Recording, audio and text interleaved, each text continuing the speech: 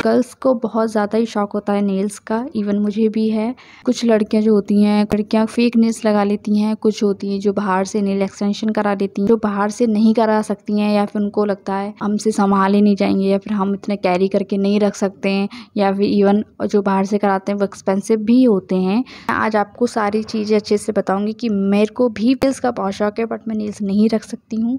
But मैं कैसे fake nails लगाती हूँ?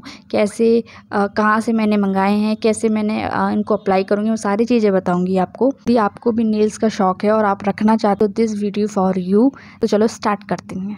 तो हाय गैस तो आपको एक नेल्स लेने हैं जो कि सब जगह अवेलेबल होते हैं, सब आसानी से मिल जाते हैं। तो आपको ये फेक नेल्स लेने मेरे पास फ्लिपकार्ट की भी रखे थे और मीशो के मैंने अभी मंगाए थे।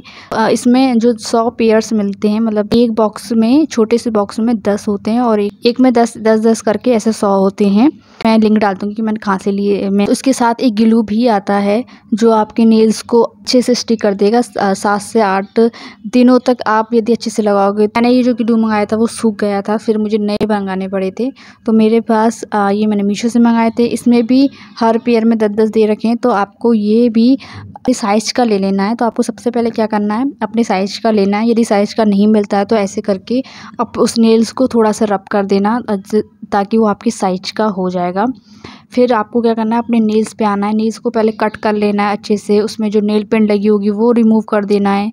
और अपने जो नेल्स है ना उनको थोड़ा सा रब कर लेना है। एक तो एजिस से कर लेना और एक थोड़ा ऊपर से कर लेना ताकि ऑयल नहीं ऑयल सा नहीं रहे ग्लू अच्छे से स्टिक हो जाए। क्योंकि यदि हमारा एकदम प्लेन स्किन रहेगी ना तो ग्लू जल्दी छूट जाएगा। तो उस तो उनको हमको यदि सात आठ दिन तक चलाने हैं तो उसको हमें थोड़ा सा रब करना होता है। फिर अपने जो नेल्स के क्यूटिकल्स होते हैं उनको पीछे करना होता है ताकि अच्छे से नेल स्टिक हो जाएँ। फिर आपको अपने साइज़ की नेल्स ले लेने हैं और जो ग्लू है उसको आपको एक तो ऊपर लगाना है नेल्स की और एक जो जो कोने में हमारे एजेस होती हैं उधर लग, उधर लगाना है और जो नखाल होती है पी, ऊपर की साइड उस तरफ़ लगाना है ताकि आपका जो नेल है वो सात आठ दिन तक अच्छे से स्टिल रहे, चल सके। और फिर आपको इसको दो तीन मिनट के लिए प्रेस करके रखना है। उस तो दो तीन मिनट के लिए आपको प्रेस करके अपने मतलब हाथों से प्रेस करके रखना है ताकि ये अच्छे से स्टिल रहें।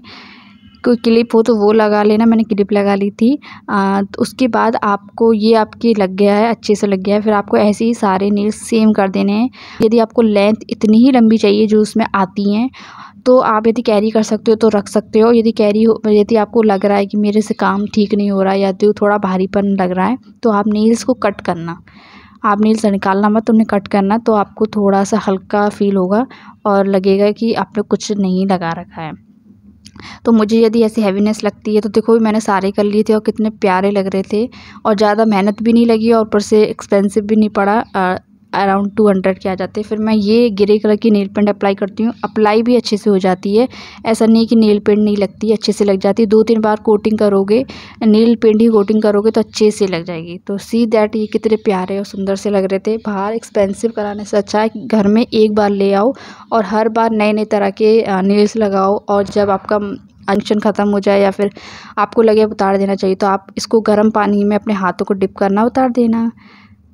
वेडिंग में पार्टी में फ़ंक्शन में, जहाँ आपको जाना तो इन्हें लगा के चले जाना। दस से पाँच मिनट में हो जाते हैं। तो आई थिंक आपको सब कुछ अच्छे से समझ आ गया होगा।